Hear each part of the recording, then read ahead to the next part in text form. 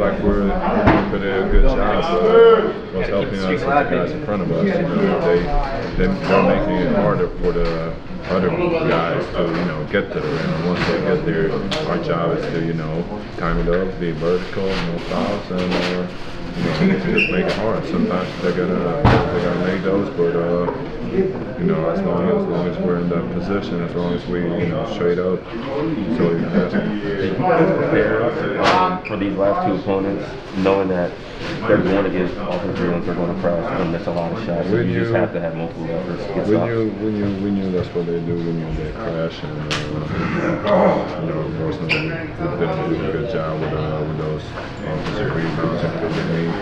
Uh, you know, Mitchell Robinson got a lot of and- but uh, you know we managed we got to win. We made a miss. So the defense was pretty good. We just got to finish finish the possessions now. Is that the difference between the first three quarters and the fourth quarter when you Yeah, were yeah. I felt like in the fourth, you know, we, we looked better with, uh, uh, getting stops and actually finishing those possessions. What do you feel like is going to be the next step? Is you got three days off, you're playing a completely different offense Yeah. uh, with, the Warriors. Um, you guys know you can score with them, but defending them is different. Mhm. What's the next step? I mean, it's, it's on game to game basis. We know what they do. There's a lot of, uh, you know, split game. There's a lot of uh, movement. There's a, there's a lot of running, high pace, and all that. So got to bring our running shoes. We got to, you know, we can't be, we can't relax when we're off the ball. We got to prepare when the ball goes in the post. There are going to be no split cuts. We got to know when we want to switch, when we want to stay with our own guys. And, uh. So how different do things feel right now compared to like over a week ago?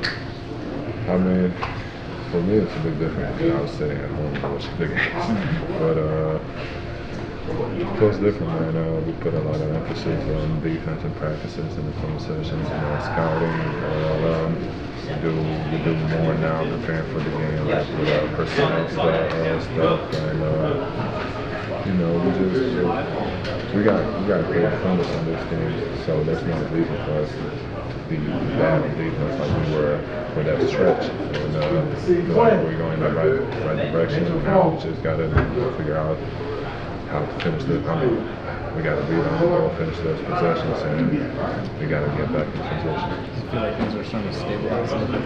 A little bit, yeah, a little bit. I mean, it's too early. It's been only two games. We're like, we play good defense, but uh, it's a, it's a good sign. We're going in the right direction, I feel like, and uh, we just got to keep it up. Yep. Let's get ready for Hoop Jab.